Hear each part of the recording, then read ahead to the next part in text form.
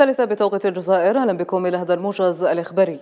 في المستهل أعلنت حركة حماس فجر الخميس الاتفاق على تمديد الهدنة مع الاحتلال الصهيوني ليوم إضافي لتكمل الهدنة أسبوعها الأول. بدورها أكدت الخارجية والقطرية تمديد الهدنة في قطاع غزة بين الجانبين الفلسطيني والإسرائيلي إلى صباح غد الجمعة مفيدة باستمرار تكثيف الجهود بهدف الوصول إلى وقف دائم لإطلاق النار في غزة. ومنذ صباح الجمعة الماضية بدأت هدنة إنسانية مؤقتة في غزة بموجب اتفاق بين الجانبين تم التوصل إليها بواسطة قطرية مصرية. يشمل إطلاق سراح أسرى فلسطينيين ومحتجزين إسرائيليين وإدخال المساعدات إلى القطاع المحاصر.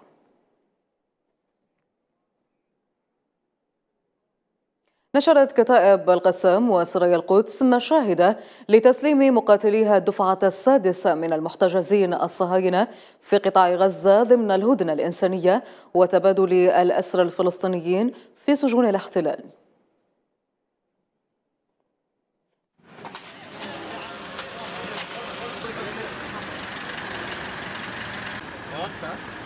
سلام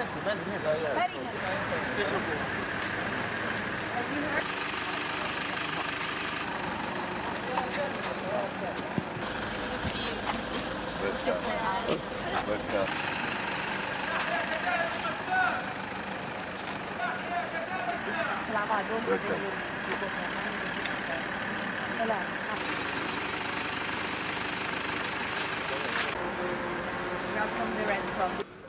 Witaj, witaj, kochani.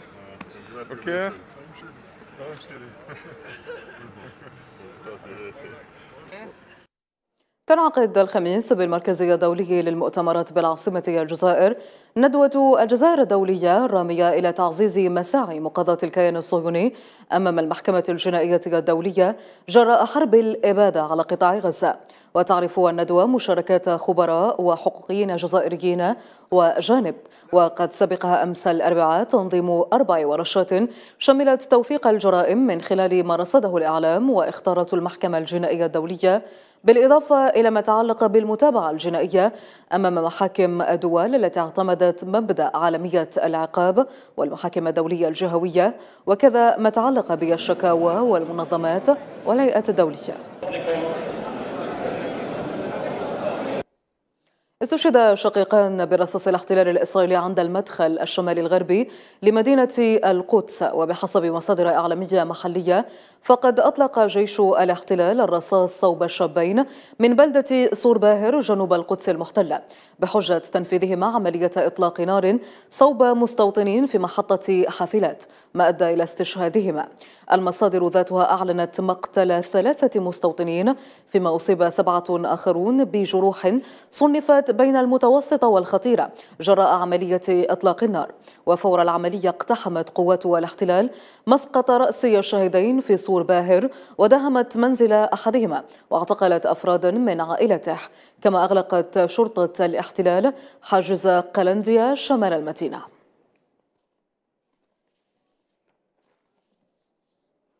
هذا وبركة حركة المقاومة الإسلامية حماس عملية القدس التي وصفتها بالبطولية قائلة إنها تزف إلى الشعب الفلسطيني العظيم والأمة العربية والإسلامية شهيديها القساميين اللذين استشهدا خلال العملية.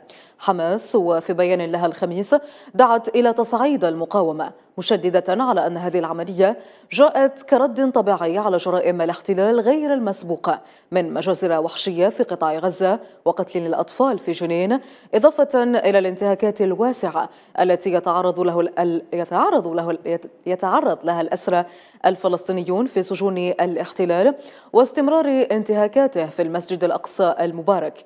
كما قالت حماس إن أبطال الشعب الفلسطيني مستنزفون أو مستنفرون للثائر لدماء الشهداء وصد العدوان وفق تأكيدها.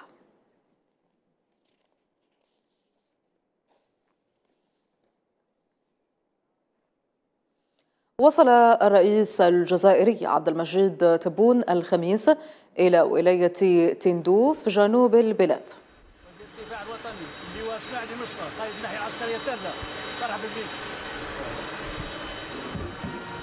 وتندرج زيارة الرئيس تبون في إطار زيارة عمل وتفقد.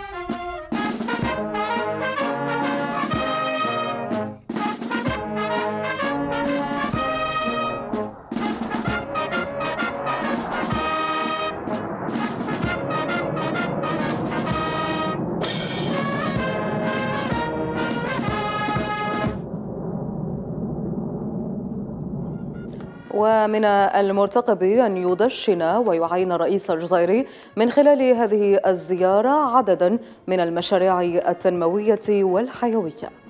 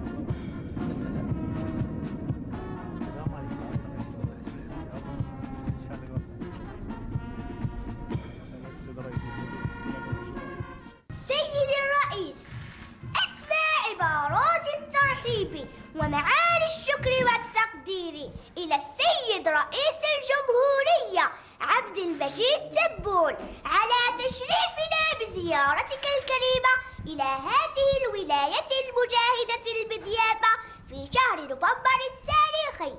سيد الرئيس شكرا على مجهوداتكم الجبارة وقيادتكم الرشيدة التي تسير في طريق الريادة والمحورية في فضائها الإفريقي والعربي بقيادة رجل فذ مقتدر استرجع هيبة الجزائر في المحافل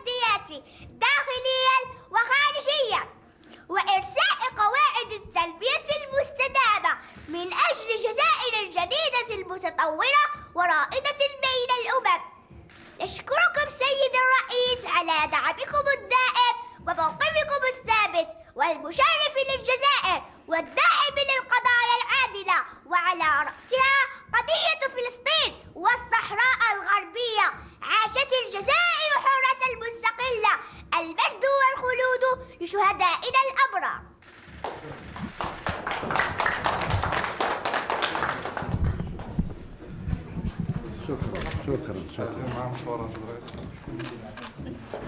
تسمحوا لي نتصور معكم؟